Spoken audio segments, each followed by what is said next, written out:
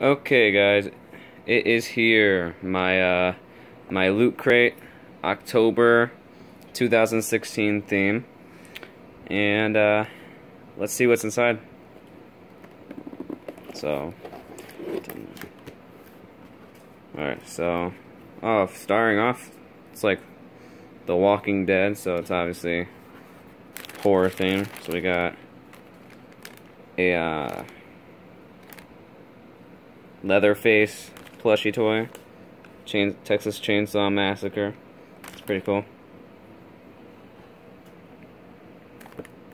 Have a hard time keeping the box open. So we got that. We got a Nightmare on Elm Street Freddy Krueger chopsticks.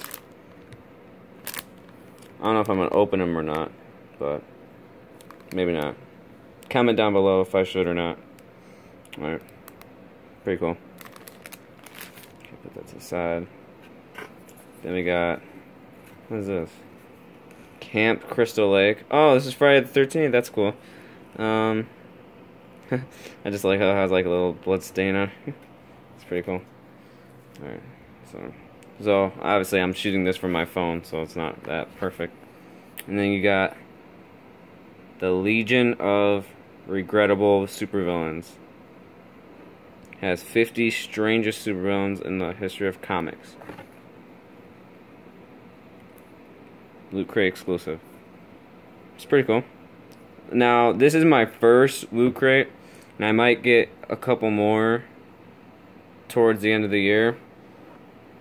But, yeah, probably a December and November theme. Or, uh, Loot Crate. But, yeah. Yeah, so... Then you got your pin, the Halloween loot, loot crate pin, October 2016.